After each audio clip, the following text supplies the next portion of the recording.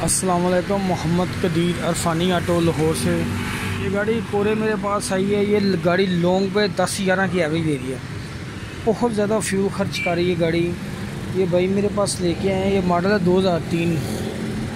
और स्टार्टिंग का ही मसला है सुबह। कारपेटर उन्होंने तो गाड़ी ली, उनको तो नहीं पता कारपेटर करवाया कि नहीं करवाया किसी ने। ये अभी मैं खोलता हूँ सारी चीज़ें।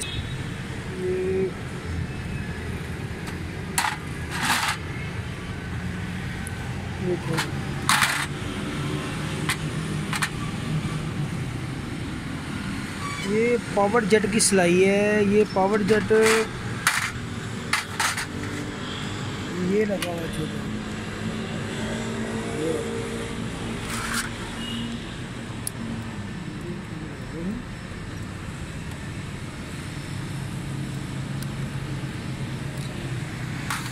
ये पाकिस्तानी जो पूरे मॉडल है, उसके अंदर ये पावर जेट की सिलाई आती जापानीज़ में नहीं आ रही। और ये वाला जो पावर जेट है, ये बंद करना फजूल होता है, इसको बंद करना नहीं चाहिए। अक्सर लोग इसको बंद कर देते हैं। ये बंद करने से कारपेटर को जेट भी बड़ा लगाना पड़ सकता है, और दूसरे नंबर पे आपकी फ्यूल की एवरेज डिस्टर्ब हो जाएगी। ये लॉन्ग पे अठारह, उन्नीस, बीस करने वाली गाड़ी है। इसके टैबलेट बंद हैं, इसको डिस्ट्रीब्यूटर इलेक्ट्रॉनिक लगाया हुआ है। ये छोटी छोटी चीज़ों के फॉल्ट हैं वैकम पैप के अंदर फॉल्ट है। ये मैं आपको चेक ये सारे पैप लगाए हुए हैं, ये वाले डिस्ट्रीब्यूटर के। ये देखें, ये वाला, ये ऊपर वाला पैप देखें। ये इधर लगा हुआ है, ये वाला ऊपर वाला पैप डिस्ट्रीब्यूटर का ही ऊपर। ये कारपेटर के पीछे लगता है। और जो कारपेटर के पीछे लगाया हुआ है, ये नीचे वाला पैप है, ये वाला। ये नीचे वाला पैप है, ये पीछे जा रहा है, ये देख रहे हैं, ये आ रहा है पीछे। ये पैप गलत लगे हुए हैं, गलत पैप लगने की वजह से गाड़ी का सारा सिस्टम डिस्टर्ब हो जाएगा।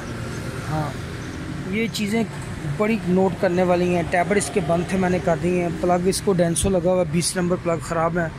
प्लगों की हालत भी देखें, मैंने लॉन्ग से हो गई गाड़ी। प्लग भी इतने साफ़, वाइट प्लग नहीं है, ठीक है।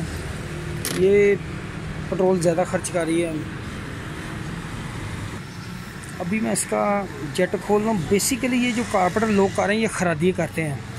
खरादी को मकैनिक दे जाता है, वो सर्विस वर्विस करके लगा देता है। मेन ना उसको वैकम पैप का कोई इंटरेस्ट है, ना टैपरों का उसको पता है, ना टैमी का उसको पता है, ना सेटिंग का, ना कुछ भी चेक नहीं करना, उसने कारपेटर करना है, ये कारपेटर लगा के उसने दे देना है। क्योंकि ये जो खरादी कर रहे हैं, तकरीबन चार हज़ार रुपये लेबर वो ले रहे हैं इसकी मुकम्मल करने की।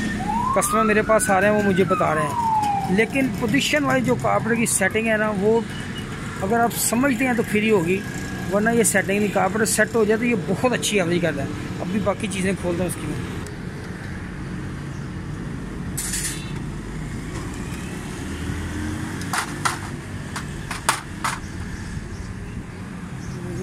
बैंड की हुई है, ठीक है?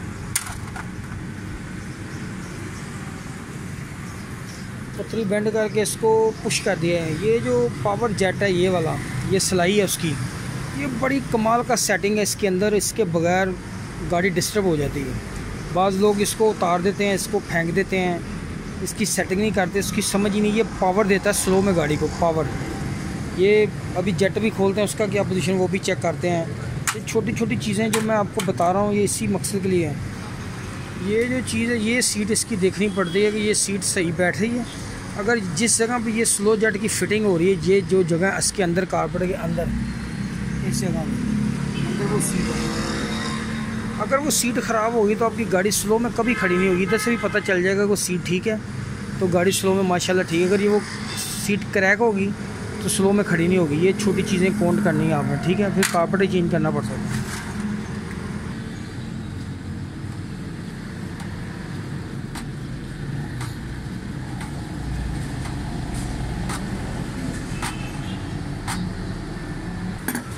ठीक है मिक्सचर ये कोरे का यही मिक्सचर है, बाद में हैरान का लगा होगा इसका यही मिक्सचर है इसका।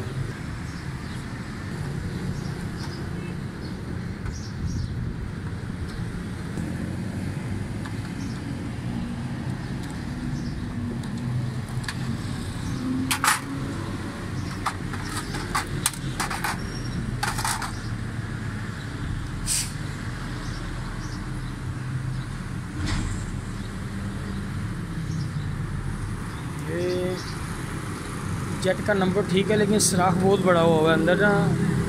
उसने सराख को खोल दिया हुआ है। हाँ ये सराख बहुत बड़ा किया हुआ है। तो बहुत बड़ा सराख है। इसको हम इस सराख जेट को चेंज करेंगे। ये नंबर 102 ही है। लेकिन इसका सराख जो बहुत बड़ा नज़र आ रहा है। काफ़ी बड़ा है। उसने इस सराख को ना स्लेवर से खुला कर दिया है, जिसकी वजह से गाड़ी फ्यूल बहुत ज़्यादा ले रही है। जेट के मैं दो पॉइंट छोटे करने लगा हूँ इसके लगाने लगा नया जेट की फिटिंग करते हैं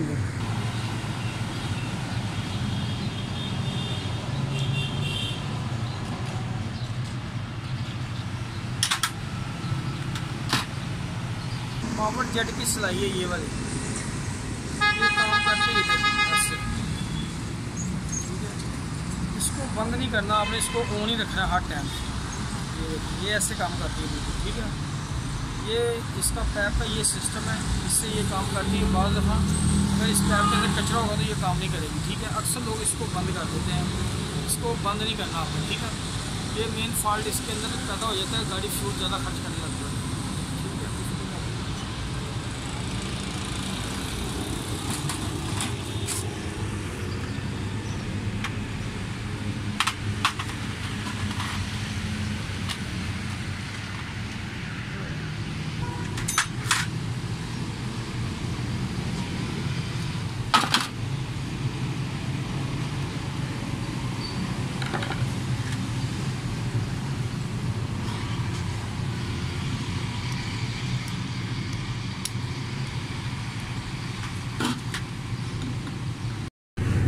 हो गया मुकम्मल ये वाल का तरीका ये देखेंगे। ऐसे काम करता है, बिल्कुल ठीक है। इसको इधर किया हुआ था, बंद। ये आपने, ये वाली जो चीज़ें ना ख़ास तौर पर कार्पेट को मुकम्मल ऑन करें, कभी हो जाता है, कभी कोई गवेड़ लगाना पड़ गया आपको तो आपने इसको बंद कर दिया, किसी वजह से गाड़ी की सेटिंग नहीं हो रही। वरना जेनवन कार्पेट को जेनवन रखें, उसकी जेनवन फिटिंग करें। जो पेट्रोल का फ़र्क पड़ता है, इंजन के हिसाब से, अगर थोड़ा पता कोई ज़्यादा जा रहा है, वो जेट से, इस वेंची से आपने चेक करना है, आपको पता चलेगा पेट्रोल का फ़्लो कितना है। उस हिसाब से आपने इसकी सेटिंग करनी है इन अब ये अभी मुकम्मल कारपेट हो गया, अभी इसकी फ़िटिंग करते हैं टैबलेट इसके बंद थे प्लग भी लगाते हैं इसको। एन के छः नंबर लगते हैं या बीस नंबर लगते हैं, ये वाले प्लग ये डेंसो ये वाला। बाद सोलह भी लगा देते हैं इसको बाद बीस नहीं मिलता। तो ये देखते हैं कि इसकी क्या सूरत हाल है, वो इसकी फ़िटिंग करते हैं इन ठीक है फ़िटिंग करो यार।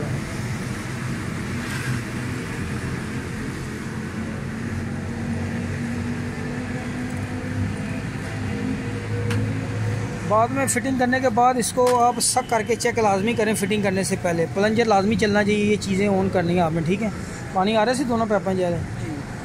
तो अभी इंशाल्लाह मुकम्मल करते हैं अभी स्टार्ट करते हैं गाड़ी कर माशाल्लाह गाड़ी स्टार्ट है ज़बरदस्त साउंड है। इसकी डिस्कें भी ख़राब थी व्हील की ब्रेक है ना बिल्कुल नहीं लग रही थी।